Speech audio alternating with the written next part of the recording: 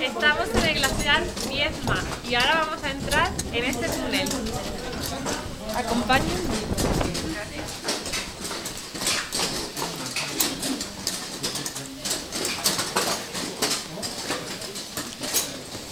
Es de verdad, ¿eh? No es un decorado.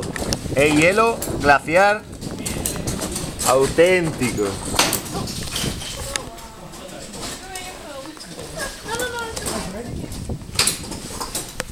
Las maravillas de la Patagonia Argentina.